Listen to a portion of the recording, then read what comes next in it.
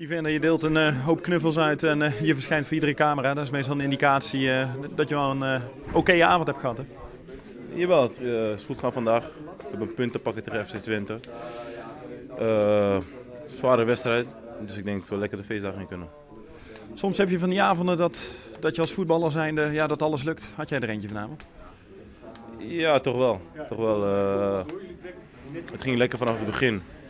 Natuurlijk de eerste, eerste, ik denk eerste 20, 25 minuten was het wat moeizaam van ons. Maar uh, ik moet zeggen, naarmate de wedstrijd vorderde, begon het steeds beter en beter te gaan. En toen hadden we ook een beeld van, we, kunnen dit, we moeten dit pakken op de counter. En uh, we hebben dat uiteindelijk ook gedaan. Moe gestreden? Sorry? Moe gestreden? Ja, zeker. zeker. Dat was te merken op het einde? Ja, op de laatste vijf minuten begon ik ook een beetje kramp te krijgen.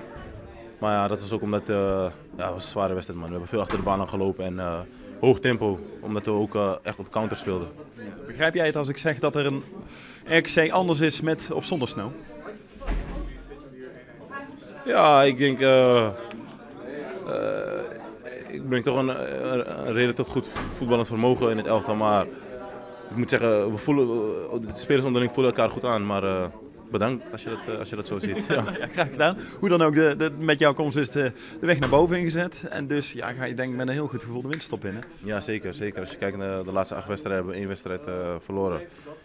Voor de rest overal, of het is drie punten of een punt gepakt. Dus ik denk dat je wel uh, een goede winterstop in kan, ja. ja. Hoe dan ook, het wordt toch nog overleven, die tweede seizoenshelft. Ja, zeker, zeker. Je mag nooit, uh, je mag nooit denken nooit denken dat je er bent, weet je. Uh, we moeten gewoon door, uh, door blijven gaan en het wedstrijd voor wedstrijd bekijken.